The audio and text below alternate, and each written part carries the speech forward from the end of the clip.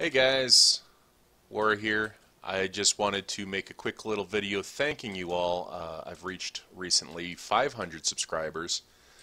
I couldn't have done it without all of you. I've kind of stopped making the milestone videos, and it's not because I don't care. It's because a mixture of um, I keep procrastinating, I'm forgetful, and to be honest, the last couple hundred went very quickly. So I kind of didn't even have time uh, in certain situations. But I do want to just put out a quick little thank you as like a reminder, not just to you, but also to myself, that I do appreciate all of you because without all of you subscribing and watching the videos, watching the content that I make, um, it is quite possible that I would not still have the motivation to keep doing this.